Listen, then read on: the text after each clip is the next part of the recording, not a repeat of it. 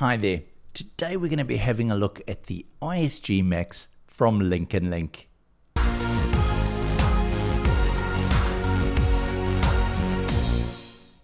So the LinknLink ISG Display Max, $219 US, and it looks like there's some additional things that you can add on like an Ethernet adapter, an e-remote, an e-motion, etc. Uh, communication protocols here, we've got Wi-Fi, Zigbee, Matter, Bluetooth, 433, and infrared. It does have an add-on store which is separate to the Home Assistant. This has its own version of Home Assistant. It's not the full version that you would download and install yourself from what I can see.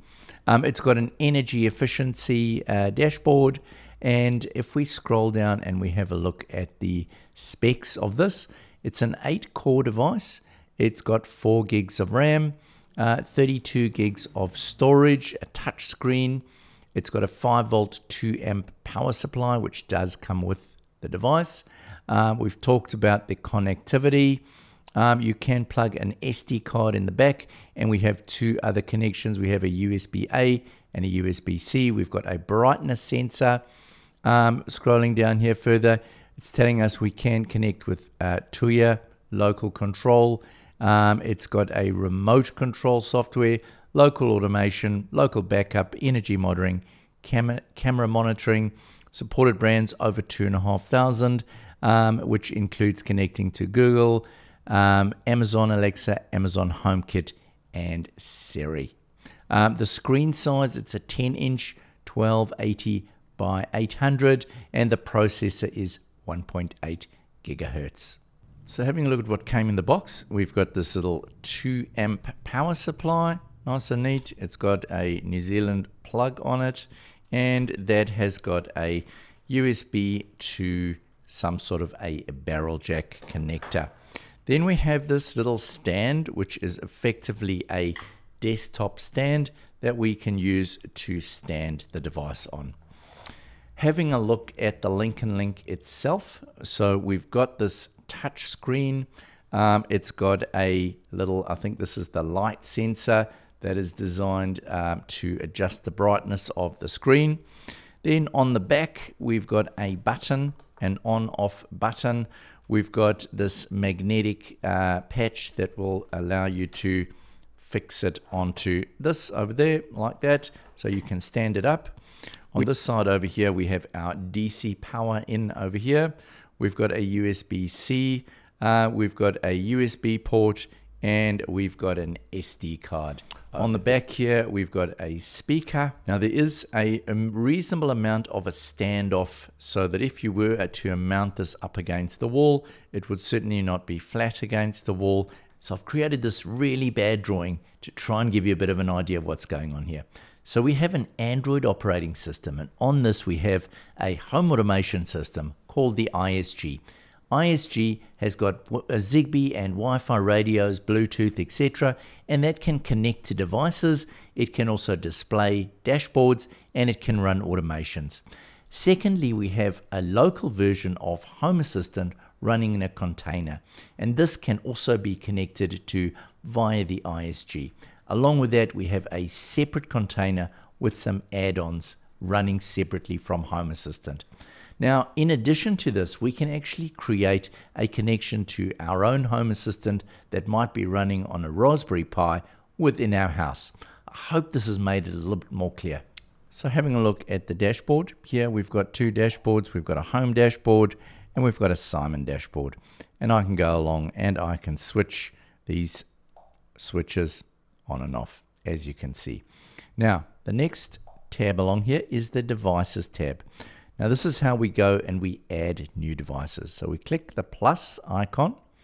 What this now does is open up the method for adding new devices to the ISG system. So we might, for example, want to add a Wi-Fi device and we might want to make a Tuya device.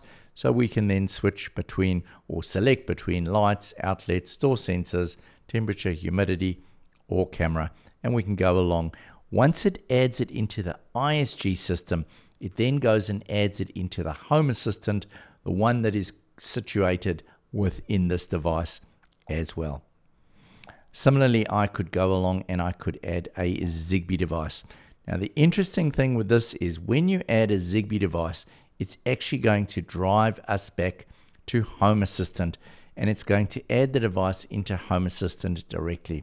Now, the reason for this is that the Zigbee radio within this device can either be connected to the ISG system or to the Home Assistant system. And when you migrate from the one to the other, it will permanently be set in that mode. So you need to think about where you're wanting to add them. You could then say, is it an IoT device, for example? And once again, you can select your devices. Thirdly, you might want to say, I want to add a Matter device. Uh, with Matter, we only have two options at the moment, lights or outlets. Now, the next option you can do is you can go to your Home Assistant and actually add a device from your Home Assistant to the ISG dashboard. So you might want to add, for example, this one over here, and that would then add that to the local dashboard. And then finally, you can select adding webcams. If we select there, you can add RTSP stream webcams. So that is the method of adding devices to the ISG and it then goes back and adds them into the Home Assistant system, or you can add them into the Home Assistant system first and then bring them back into the ISG dashboard. Um, next up, we have groups. So it's pretty straightforward. You can go and create groups and add devices, assign them to groups. We've got energy management. I haven't added anything yet, but you could go along here and you could select your energy devices and create a little dashboard. We then have brands um, over here. This basically refers to the LinknLink devices. If you do, I don't have any LinknLink devices to add in here. Next up, we've got automations.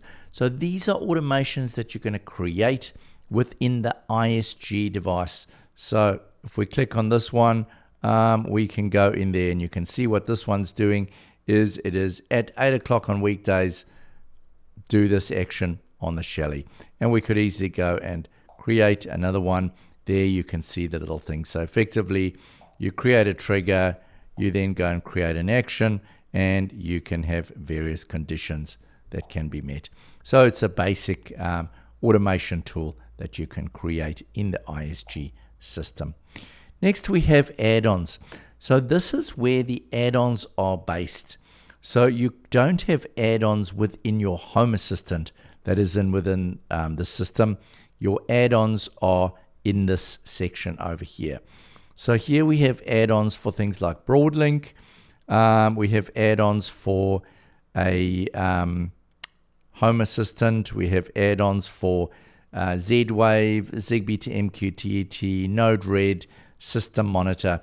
And you can add any of these and then they will run as an add-on because the Home Assistant within the system doesn't have access to add-ons. We scroll down to the bottom one. This is our settings, and this is where you can link up to things like HomeKit, Home Assistant, uh, your services within Home Assistant. Um, you can do your backups and restores. So I'm assuming this is backup and restores of the ISG system because within Home Assistant, you would be doing your own backups. You've also got your media center, so you could go along there and add various media uh, components to your system to be played with. And it seems over here, if you want to do your MQTT, you would set that up from within there. Having a look at the Home Assistant instance within this device, um, you can see our overview. We've got our dashboard here. Looks pretty simple. We can go along there and we can control devices from our dashboard. Similarly, we can go in there and obviously edit dashboards and very, very much standard uh, Home Assistant. Uh, energy dashboard, once again, same thing, maps, all pretty standard. The logbook, history, um, does have the HACS store pre-installed, so that's quite nice. You don't actually have to go down and install HACS yourself. Uh, media, pretty much the same as a normal Home Assistant to-do lists, developer tools, and settings. So now that we're in our settings, we can go along here and we can have a look, see which actual um, system we're on. So currently it is running 2024 3.3. So effectively you're running the March instance of Home Assistant. So it is sort of, what are we now, October.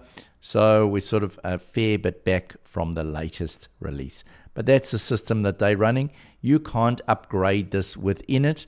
Um, you would have to wait for them to actually um, update the system before you can update it yourself. You can't actually go and update this one directly. Now, as I discussed, add-ons, there's no add-on store because the add-on store is within the other side of the system. So amongst the settings here, we do have the firmware update for the system. And as you can see, there's three areas that you can update. There's the ISG version, there's the Home Assistant container version, and there's the Home Assistant service pack. So, and also the Zigbee version. So there's three different areas of firmwares that could be updated. Now, originally you needed to actually copy this onto a USB stick and plug it into the device before you can upgrade. But now I see that when there's a new version available, it does pop up a little um, reminder here. You can press the button and it will automatically download the update for you. Well, this has been one of the most difficult product reviews that I've ever had to do. And I've actually gone back and re-recorded the final section of this video giving my reflections on this product. And the reason for that is that I've done some more testing on this device and I've also done some research looking at other reviews and some other comments that people are making about this device. What I'm finding with this device is that it is really a beta product. It still has a lot of bugs inside of it, and I would definitely recommend checking it out quite carefully. Um, you can do some basic things through the front ISG, but there are some real limitations and it's not that easy to set up. The instructions are quite difficult to follow.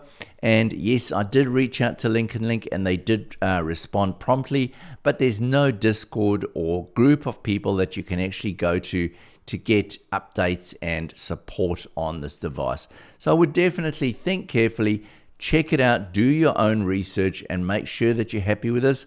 Personally, I would recommend going for more something like a Home Assistant Green and set it up yourself, and I think you'll learn a lot more. Anyway, that's all for now. Hope you've enjoyed this video, and I'll see you in the next one. Bye for now.